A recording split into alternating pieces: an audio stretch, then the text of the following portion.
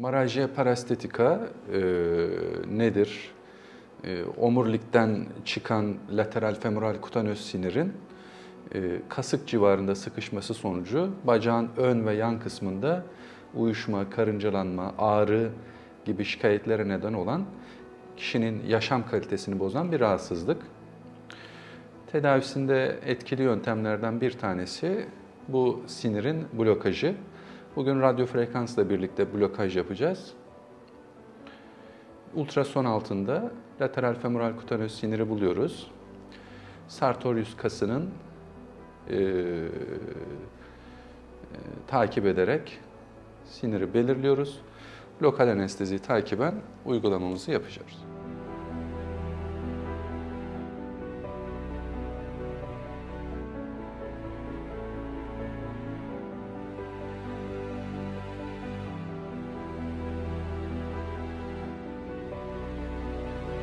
Çok başarılı bir şekilde yerine yerleştirdik.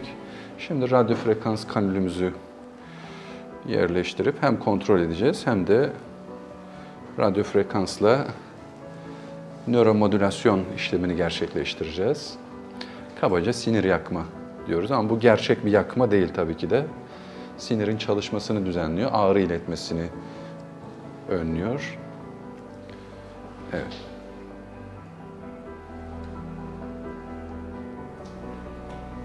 Tamam. Stimülasyonla yerimizi doğruladık. Hem ultrasonla hem de radyo frekans stimülasyonuyla.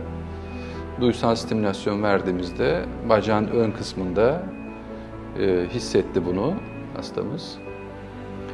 42 derecede pulse RF yapıyoruz.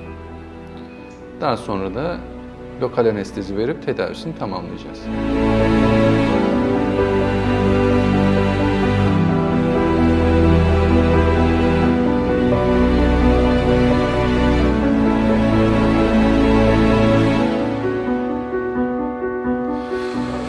Çok geçmiş olsun.